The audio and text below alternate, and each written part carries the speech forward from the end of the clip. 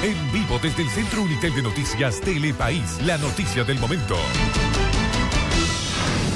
Muy buenas tardes, en la Radio Unitel ya estamos preparados para brindarles toda la información de la mañana. En minutos más usted tendrá estas y otras noticias en Telepaís Meridiano. Accidente de tránsito, un minibús chocó contra otro vehículo entre el cuarto y quinto anillo de la avenida Virgen de Cotoca. Robo filmado, una motocicleta estacionada fuera de una casa fue sustraída en la calle Aroma. Hombre asesinado, era comerciante, lo mataron en Potosí, su familia exige justicia.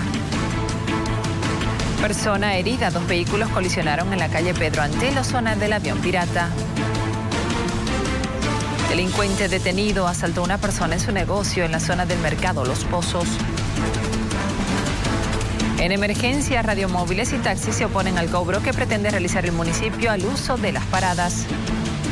Alerta naranja, el Senami anuncia descenso de temperaturas en Santa Cruz. El jueves y viernes llegarían a los 7 grados. Paro aduanero en Chile, funcionarios confirmaron que la medida se mantiene por tiempo indefinido. A las 12 horas con 45 minutos llega Telepaís Meridiano. Quédese con nosotros. En vivo desde el Centro Unitel de Noticias Telepaís, la noticia del momento.